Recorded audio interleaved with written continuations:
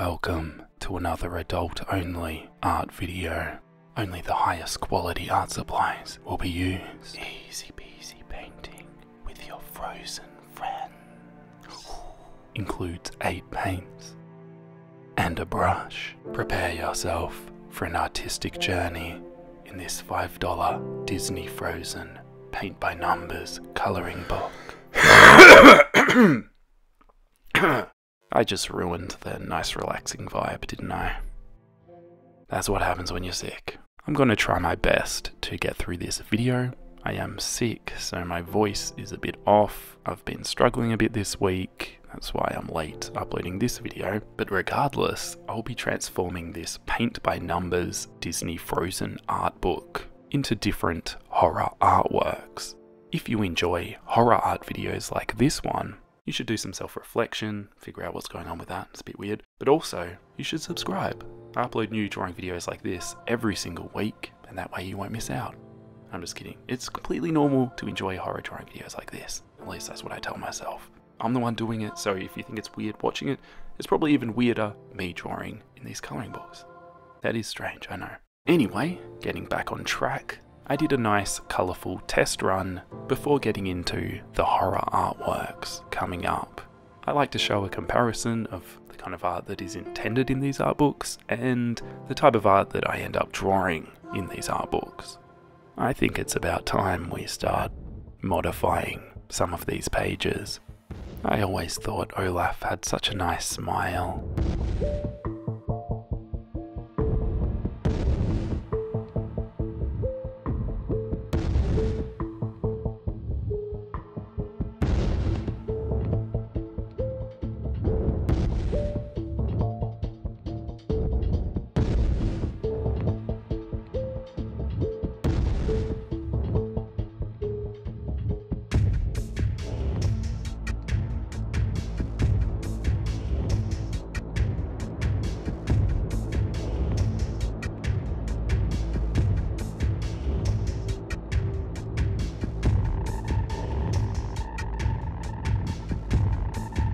After adding some extra details and line work, it's time to get the paintbrush back out, dip it in some water, and start adding some nice colour.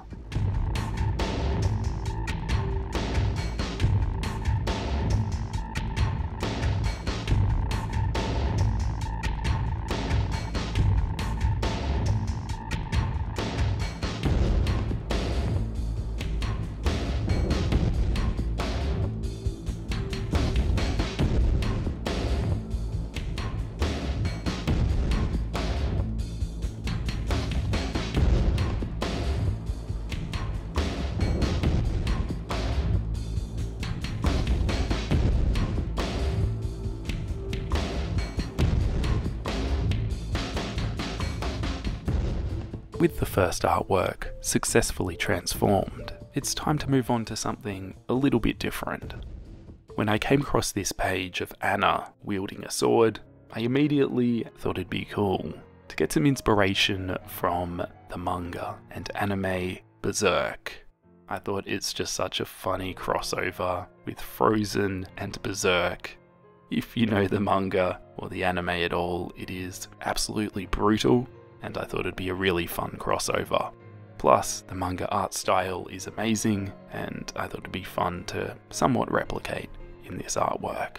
RIP to the creator and absolute master of his craft, Kentaro Miura, who created Berserk. Check out his artwork, it's seriously amazing.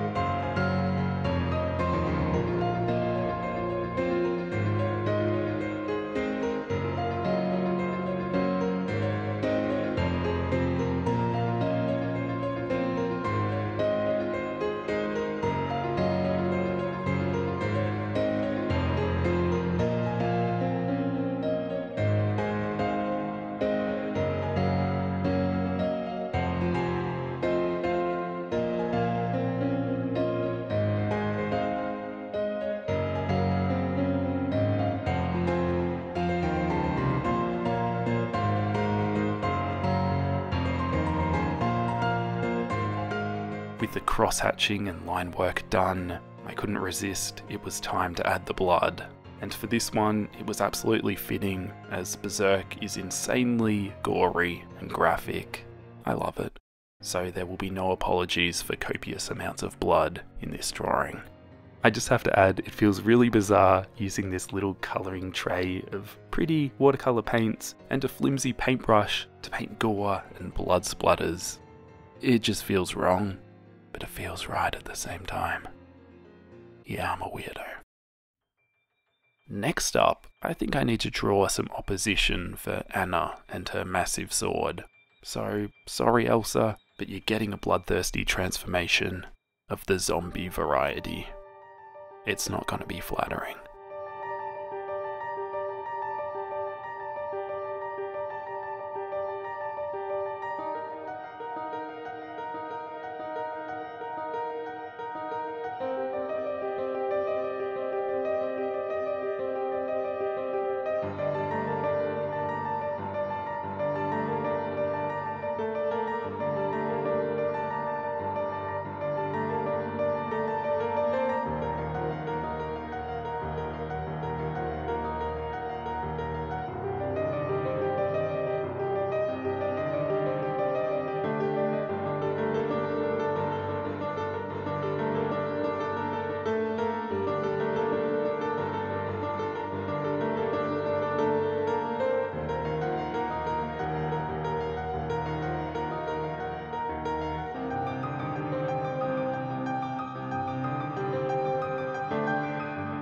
Now that it's time to add some colour to this artwork, I have to say the quality of the paper and paints in this particular book is rather poor. I'm still trying to make it look cool, working with what I've got, but I definitely am struggling.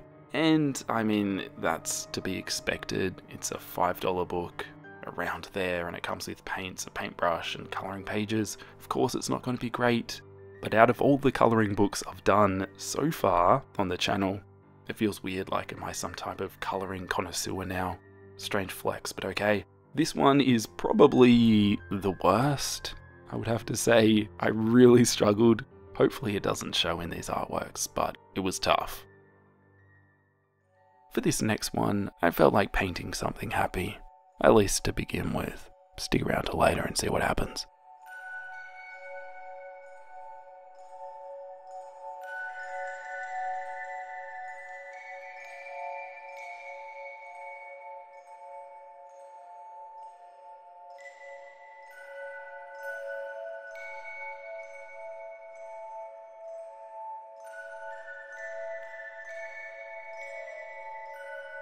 Yep, the happiness didn't last so long.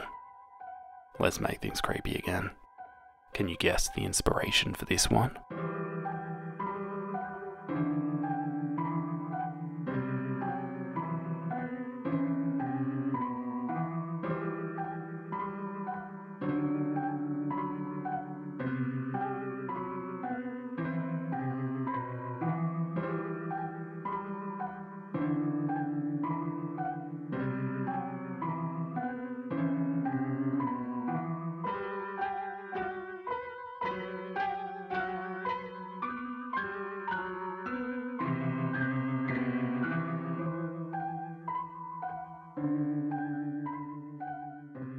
Couldn't help myself and decided to throw in a Poppy Playtime reference.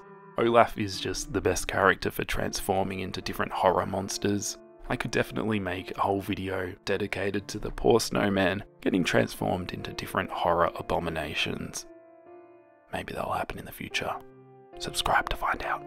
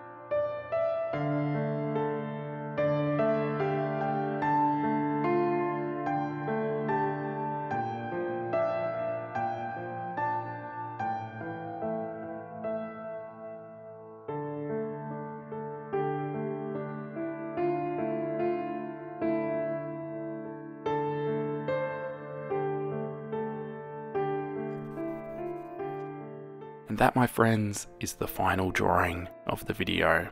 I saved a detailed one till the end. I struggled with this video quite a lot, but hopefully you still enjoyed it. Thank you all so much for watching, and a massive thank you to all of my amazing patrons for supporting my channel. I appreciate all of you, and I'll catch you in the next video. I'll see you then. Bye.